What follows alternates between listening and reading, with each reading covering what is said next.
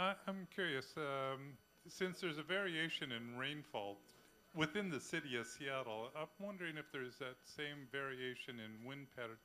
I live in a particular neighborhood of Beacon Hill, and it doesn't seem to get quite the winds. And knock on wood, we rarely lose power uh, when other neighborhoods do because of the winds. So I'm wondering, within the city of Seattle, is there that much variation? There is, and the key thing is your proximity to water. The winds blow much more rapidly over water. They can, it, can, it could be twice as fast over Lake Washington or over Puget Sound that it is over land. It could be three times as, as great. And you all realize this if you ever drive across the Evergreen Point Bridge, right? I mean, it can be blowing like man out there. Uh, another way you can see it is we have a wonderful website that, that we developed with the Washington State Department of Transportation. It's called Ferry Weather. And we, there's, there are weather sensors on Washington State ferries as they cross back and forth across the Sound. And you can, and it's just amazing. It could be eight knots in Elliott Bay, and it could be 30 knots in the middle of the Sound. So, proximity to water is the is the most important thing. And then there's other issues. If you're down in a valley, a lot of times you're protected. If you're on the top of a crest, it's the winds are stronger. So that's happening too. Note card question. Why don't we get more thunder and lightning? Well, I think I answered that, but we don't get more thunder and lightning because of the Pacific Ocean and because of the cold water. Okay, we have a question back there.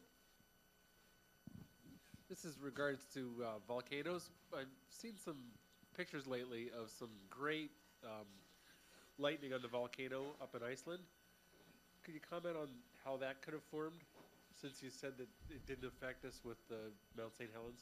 That's right. You can get, you know, vivid lightning, you know, really active lightning in volcanic eruptions as the ash particles rub each other. and You could you could develop these charges, and you get this ve- very very strong lightning uh, results. So I mean th- that that's true. It's not a, really a weather effect. It's really a matter of the the static charges created by the lightning. Note card question. What's the status of the radar station on the coast? Okay, that's one of my favorite topics. Um, well, uh, we're going to get one. Uh, Senator Cantwell got the money, and uh, yeah, it's really amazing. I mean, she, she's just tremendous, and she she she got it very quickly why we needed this radar, and she she happens to be in a very powerful position. She's the chair of, of the Senate committee that oversees NOAA. So then Gary Locke is is head of commerce, and the head of and the head of NOAA is from Oregon. So that that probably didn't hurt. So anyway, the ra- the radar is funded, and uh, during the next it, the it there's a chance it may get in as, as early as September of next year. So so anyway, we're definitely going to get the radar. Well, it's going to be very much like the Weather Service radars that are out there right now. Um, very powerful, 10, cent- 10 centimeter wavelength radar They'll be able to see two, 300 kilometers off the coast. So we'll be able to see the storms coming in. It'll be a Doppler radar. It'll not only, only see, be able to see where it's precipitating, but it'll get the winds as well. It will be one of the first radars to have a new technology that'll be on all the radars in the country soon. It's called dual polarization. It's able so the, the current radars send out electromagnetic waves, microwaves, with, with one polarization, where the waves are horizontally polarized. This one will also send out vertical polarized too. If you have both of them, you can do all kinds of interesting things. You can tell the type of precipitation. You can get a much better idea of the intensity of the precipitation. So it's going to be tremendous, and, and our radar will have it from the first day.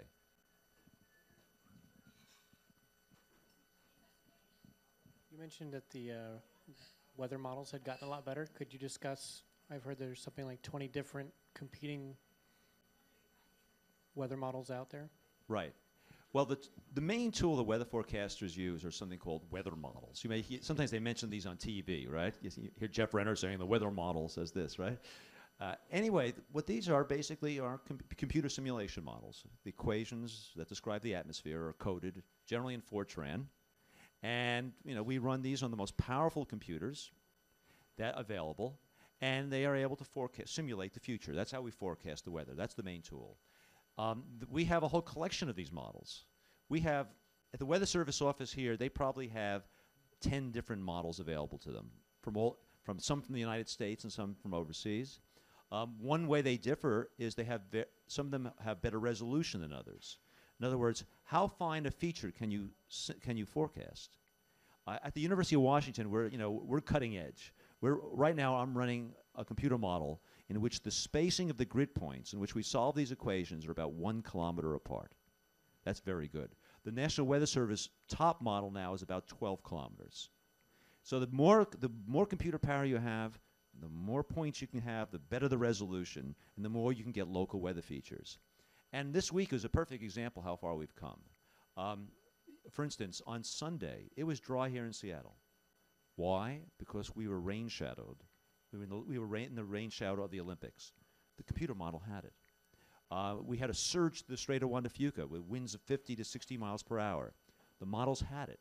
Ten years ago, we couldn't have done that because the computer models didn't have enough resolution to do it.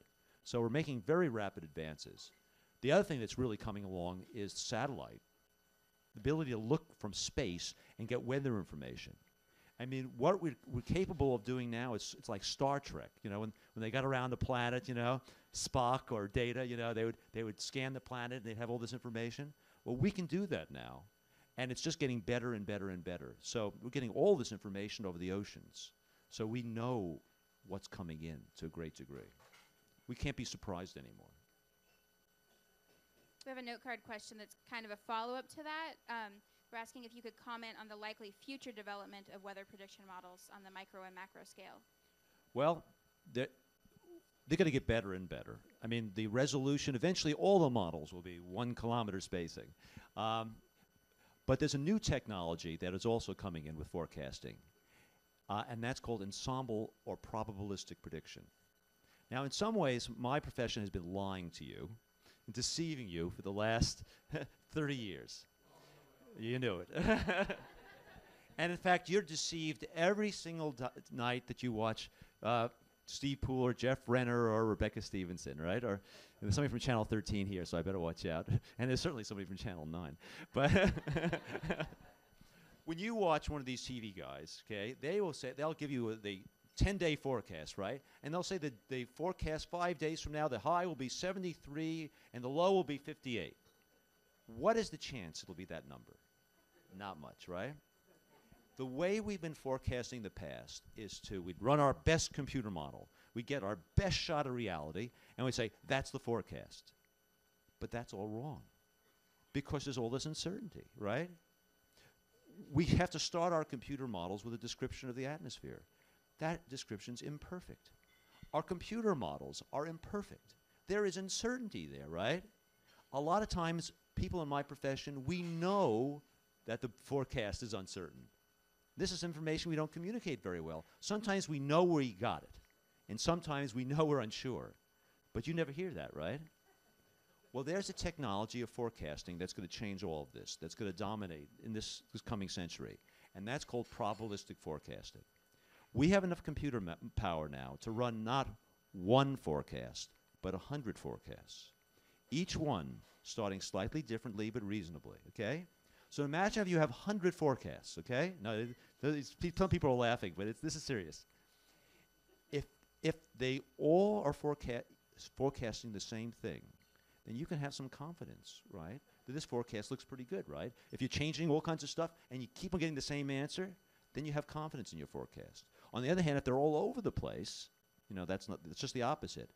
If half of them say rain, 50% chance of showers, right?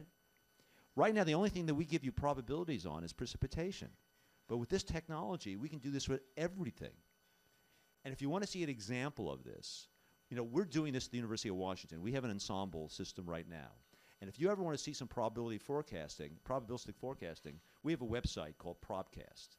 You go to www.probcast.com, P R O B C A S T, and you can see a sample of this kind of stuff. So that's the future of forecasting. So 20 years from now, if the TV guys say, this is the temperature, rather than saying, this is the, this is the, this is the range of temperatures we expect, and this is the probability of that, then we're doing a bad job. The only problem for TV is they don't have, the, they don't have enough time to do this, right? They generally have like two and a half minutes. So that's not enough.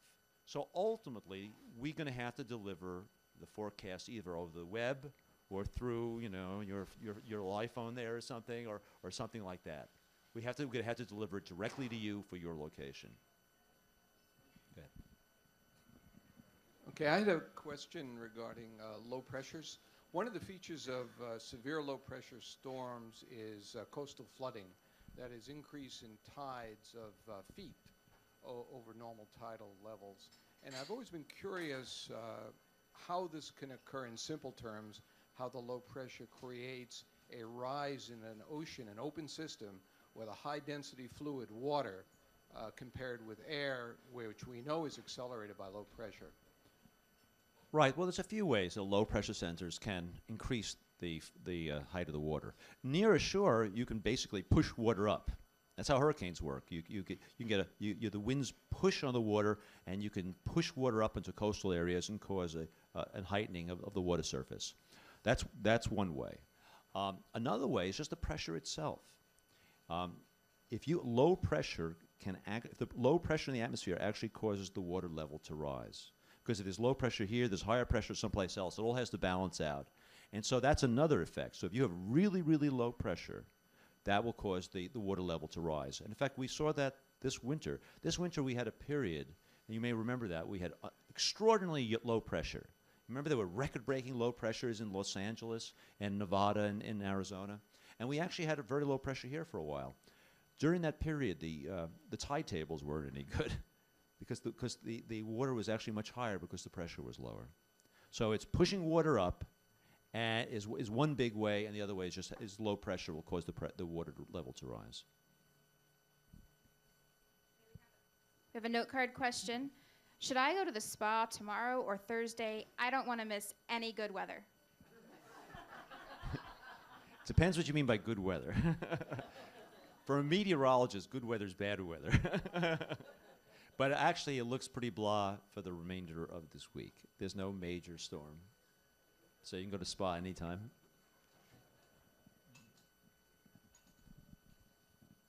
I enjoy going out on the, the water in our boat and fishing in October. And might be clear, no fog going out there, and I'm not a large enough boat to have radar, but I get out off um, Kingston area and the, as thick as can be. And the area I want to go fishing in is heavily fogged in. Is there a way to determine that before I get out there? You know, waste an hour's worth of travel to get there? Well, how do you know it's foggy? Well, I think the, the best way would probably be to look at a satellite picture. You- we- the high resolution satellite pictures, which are available on the web, um, that's the best way. The visible satellite picture would be what I look at uh, if, if, the, if the sun was up. And that you can get on our website, the University of Washington, the Weather Service. It's the one kilometer imagery. That's the highest resolution visible satellite pictures. At night, you can even you can see fog too. The, the Weather Service, and it's on their on their website, has something called the fog product, which uses several wavelengths from the satellites to actually paint out where the fog is during the nighttime. So that's how I would do it. I mean, you could look at fog reports at some. You, you could look at some of the observing stations, but I, I would definitely look at the satellite picture. Um, just go to well, you just go Google in Google. Just do National Weather Service uh, Seattle, and you and, and then click on satellite once you get there. That's that, that that's what I would do for fog. We have a somewhat related note card question. What is the first chart or satellite picture or whatever to look at when we get up in the morning to get an overview of the weather? Well, if, if you're a meteorologist or for anybody. I, I, I think this person specifically wants to know for him. Okay. Well, I guess if I was if I was a layman and I was going to look at one thing, it would probably be a satellite picture. It would probably be an infrared satellite picture, because uh, you, you, everybody know there's two different types of satellite pictures, right? There's you know, or there's several, but the ones in TV are visible and infrared. Uh, they often show the infrared. Visible is what you would see if I threw you into space. Infrared uh, or if you were in space. Infrared is what they, they often show on television, and that's showing you basically the temperature of the clouds. When it's white, that means it's cold, and that means it's high. And it's dark eh, or gray, it's a middle level cloud. So generally, you see the infrared pictures, and that's, that's the first thing I would look, up, look at, look at, because that, that would show you what's coming in.